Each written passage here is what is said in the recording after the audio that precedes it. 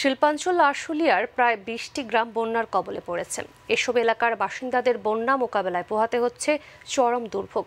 তার উপর বিষাক্ত কালো পানির সংস্পর্শে রোগাক্রান্ত হয়ে দুর্বিষ হয়ে উঠেছে জনজীবন। আশুলিয়া প্রতিনিধি মোহাম্মদ আনোয়ার হোসেনের রিপোর্ট জানাচ্ছেন আতিকুর রহমান তিতাস আশুলিয়ার পলাশবাড়ি পশ্চিম বাইপাইল বাঁশবাড়ি কাইচাবাড়ি ডগরিতলি ও শিমুলিয়া সহ প্রায় পনেরো বিশটি এলাকার মানুষ এখন পানিবন্দী হয়ে জীবন পার করছে। বন্যার পানিতে তলিয়ে গেছে ঘরবাড়ি রাস্তাঘাট ফসলি জমি। যোগাযোগের মাধ্যম হয়ে দাঁড়িয়েছে ছোট ডিঙি নৌকা। সরকারের কোনো অনুদান নাই কিছু নাই কীভাবে চলি আমরা? মুখের সান্ত্বনায় কাজ হয় না এই পেটে ভাত লাগে। জানেন আপনারা প্রধানমন্ত্রী দিলেও না না দিলেও কোনো খবর আমরা পাই না। কোনো মেম্বার চেয়ারম্যান কোনো এমপি মন্ত্রী কেউ আমি খোঁজ খবর আবার শিল্প কারখানার বজ্র পদার্থ মিশে দূষিত পানিতে অনেকে আক্রান্ত হচ্ছেন চর্মরোগে। এই এলাকা হলো শিল্প এলাকা।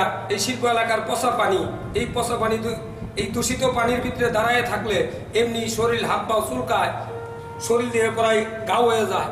অসহায় মানুষগুলো বলছেন এখনও কোনো ত্রাণ কিংবা সহযোগিতার হাত বাড়ায়নি কেউ। থাকা খুব কষ্ট তারপরেও গরুগুলো নিয়ে আমি আরও অনেক কষ্ট করেছি এখানে চেয়ারম্যান মেম্বার অথবা প্রশাসনের কোনো লোক আমাদের দিকে কখনো দৃষ্টি দেয়নি। তবে বন্যা কবলিতদের মাঝে ত্রাণ সামগ্রী বিতরণ শুরু হয়েছে বলে জানান উপজেলা নির্বাহী কর্মকর্তা। সর্বাত্মক সহযোগিতার আশ্বাসও দেন তিনি।